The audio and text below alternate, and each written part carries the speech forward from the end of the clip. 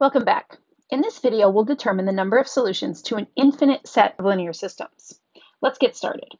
Example 3.3.4.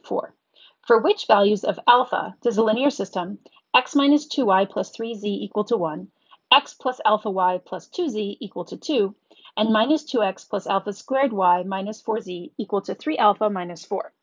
So why did I say an infinite set of linear systems? Well, I have infinitely many choices of alpha. Alpha could be any real number.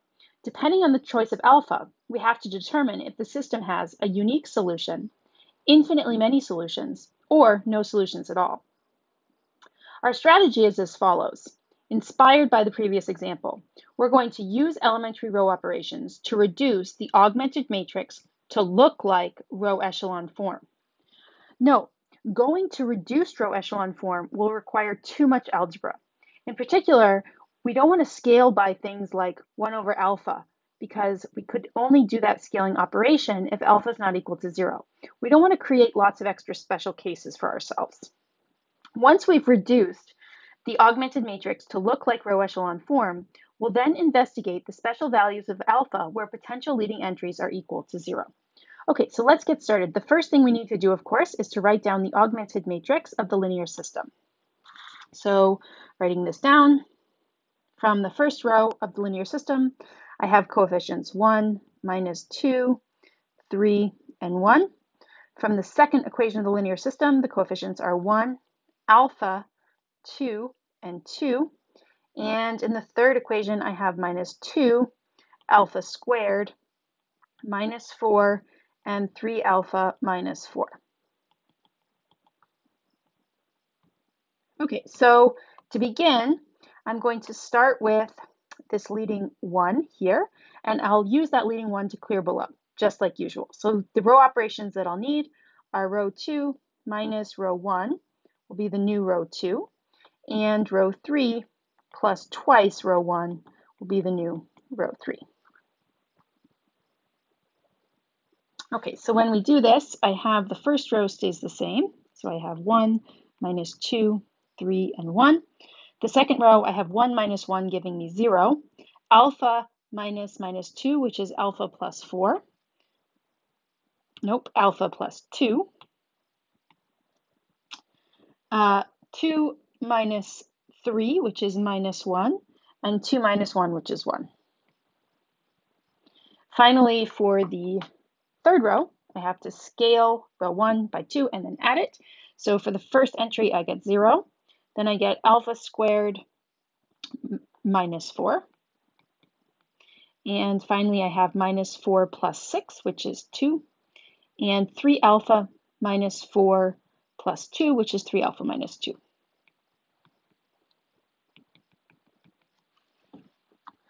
Okay, so it's at this stage where students are often inclined to try to make this alpha plus 2 a leading one. The problem with this is that if we scale row 2 by 1 over alpha minus 2, that's only valid when alpha is equal, not equal to negative 2. So instead of doing that, I'm going to make the following observation. Notice that I can rewrite alpha squared minus 4 as alpha minus 2 times alpha plus 2. What this means is that I can actually think about alpha squared minus 4 as a scalar multiple of alpha plus 2.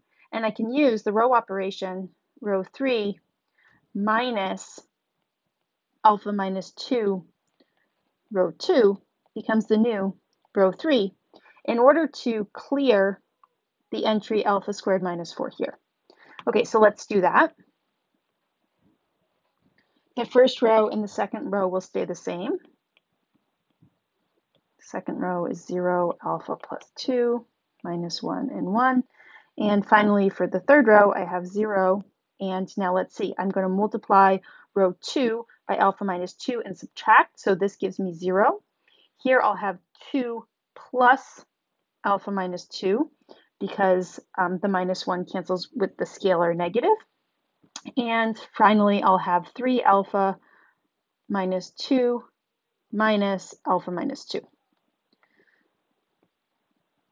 So we'll simplify that in one final step here of the row reduction process. So when I simplify, here I'm not really doing a row operation, I'm just simplifying. 2, 3, 1, 0, alpha plus 2, minus 1, 1, 0, 0. Let's see, the 2's cancel, leaving me with just alpha. And 3 alpha minus alpha is 2 alpha. And minus 2 plus 2 gives me 0. Okay, so this is nice because now let's look at what I have. Well, I have a leading entry in the first row. I have something that looks like a leading entry in the second row. And I have something that looks like a leading entry in the third row. So what I'm going to do is I'm going to consider the special cases of alpha equal to minus 2 and alpha equal to 0 because those are the values that determine whether alpha plus 2 and alpha are actually leading entries or not. If alpha plus 2 is not equal to 0 and alpha is not equal to 0, then we notice two things. First, the system is definitely consistent.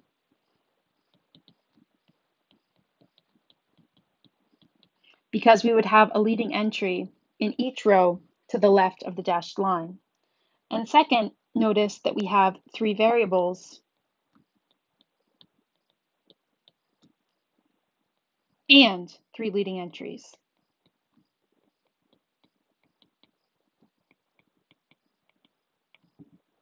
Okay, so what does this mean? Well, let's just let's just rewrite this condition as uh, so therefore, if alpha is not equal to negative 2 and alpha is not equal to 0, the system has a unique solution. Okay, so that's what happens in the case when alpha is not equal to minus 2 and alpha is not equal to 0. We're going to have to consider the other two cases separately. So let's start by looking at the situation when alpha is equal to minus 2. So if alpha is equal to minus 2, then what we're actually going to do is we're going to go to that reduced matrix that we found that's up here on the previous page. Here it is. And I'm actually going to plug in alpha equal to minus 2 here. So notice in particular, when I look at this position here, I'll get a 0. In this position here, I'll have a minus 2. And here, I'll have a minus 4. So let's write that down. So if alpha is equal to negative 2, then the augmented matrix of the linear system reduces to,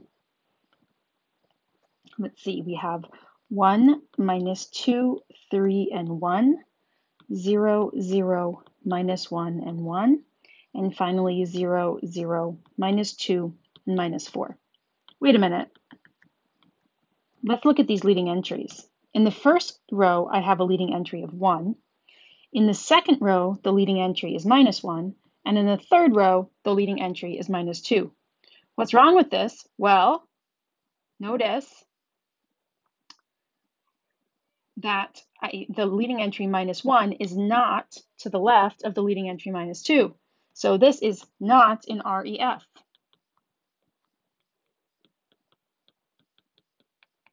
Okay, so what we need to do is we need to do a row reduction step to put it in REF before we can determine how many solutions the linear system has. I'll do the row operation row 3 minus twice row 2 is the new row 3.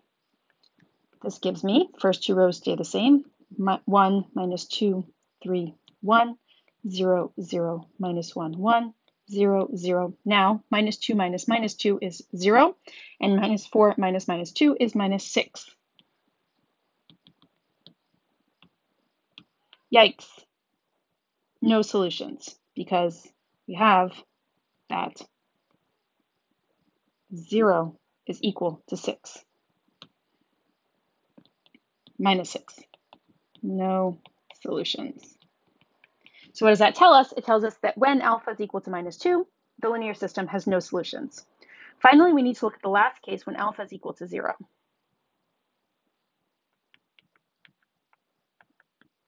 So again, I'm going to go back and I'm going to plug the alpha value of 0 into the reduction that we had above. When I do that, I get the matrix 1, minus 2, 3, 1, 0, 2, minus 1, 1, and 0, 0, 0, 0. So this time the matrix is in REF. The leading entries 1 and 2 are the only leading entries and they're in the con correct configuration. I can see that the system is consistent.